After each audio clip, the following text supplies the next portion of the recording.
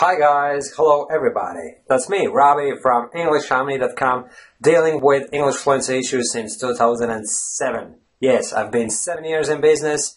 It's seven years since I achieved English fluency myself.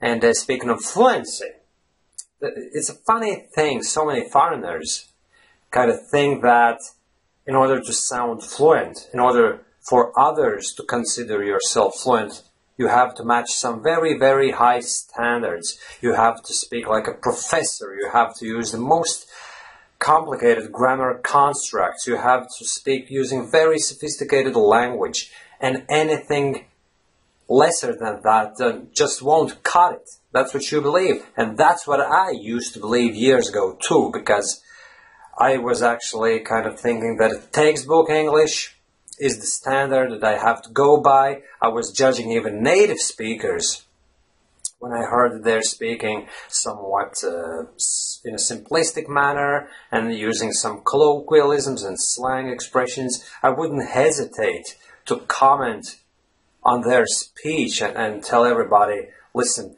that's no way to speak proper English, you know. At the same time, not being able to speak fluently myself. And it's all because I was thinking that fluent English means speaking, uh, uh, it's hard to describe, at a university level, almost.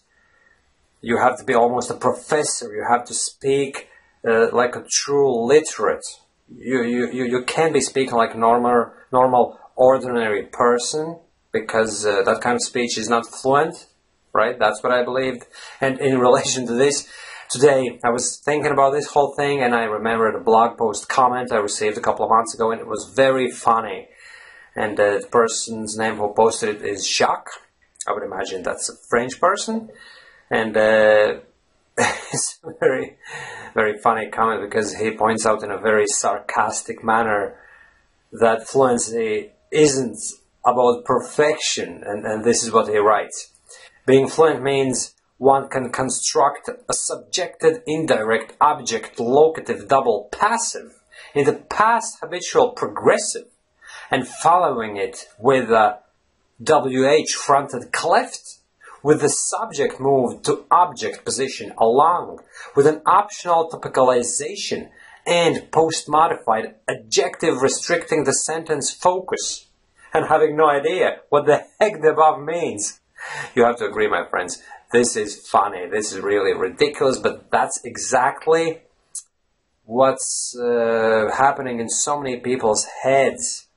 We kind of believe that in order to speak fluent English, it all has to be almost at a rocket science level. You can't be speaking like an ordinary person because that's not fluency. Fluency is when you go to school, you you go to your primary school, secondary level, third uh, level education, university, and uh, all the advanced grammar stuff that comes with it. It all has to be incorporated in your English, and your speech has to reflect it all. If it doesn't, you're a loser.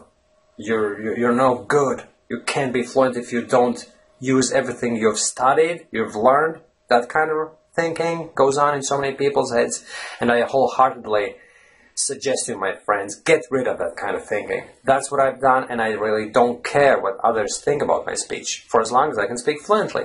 And speaking fluently, by all means, can be achieved by using very short and simple sentences, simple vocabulary. You don't have to speak like a professor. And you definitely don't have to construct the subjected indirect object locative double passive in the past habitual progressive in order to sound fluent, my friends right? Okay, thanks for watching this video and talk to you again. Bye bye.